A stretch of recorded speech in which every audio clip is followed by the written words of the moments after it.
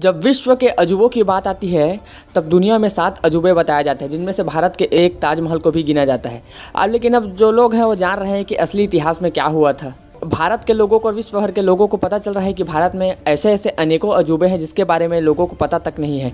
उदाहरण के लिए आँख है, तंजावुर में स्थित बृहदेश्वर मंदिर जिसका निर्माण चोल साम्राज्य के परम प्रतापी शासक राजा राज प्रथम के द्वारा करवाया गया था। बृहदेश्वर मंदिर एक अनुपम वास्तुकला का प्रतीक है, जो कि चोल साम्राज्य की वास्तुकला को दर्शाता है और हमारे गौरवशाली इतिहास को बताता है कि हमारे वास्तुकला कितनी ही अनुपम और आकर्षक थी और कितनी ही एडवांस रही होगी।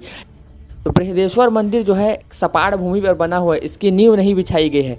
16 मंजिला से भी अधिक ऊँची इमारत, जो कि 216 फीट की ऊँची है, इसके ऊपर में जो है, इसके शीर्ष पर 80 टन का एक पत्थर रखा गया है, जो कि अपने आप में एक सोचने वाली बात है कि उस समय ऐसी तकनीक कहाँ थी कि 80 टन के पत्थर को जो है, इसके ऊपर रखा गया होगा। और आप सोचें कि सपाट ज़मीन पर बना यह मंदिर, बिना किसी नींव के बना हुआ है, ऐसे पजल टेक्निक से बनाया गया है। यह मंदिर छः भूकंप झेल चुका है, फिर भी इसकी नींव एक इंच भी नहीं हिली है। तो आप सोच सकते हैं कि किस तरह का एडवांस हमारा उस समय का इंजीनियरिंग रहा होगा।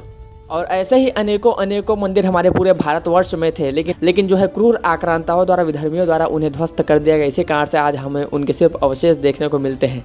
तो सोचिए हमारा भारतवर्ष का इतिहास किस तरह से स्वर्णिम इतिहास काल रहा होगा हमारा। और इसी कारण से जो है भारतवर्ष को सोने की चिड़िया कहा जाता था। तो आपको इसके बारे में क्या कहना है? कमेंट्स करके ज़रूर बताइएगा।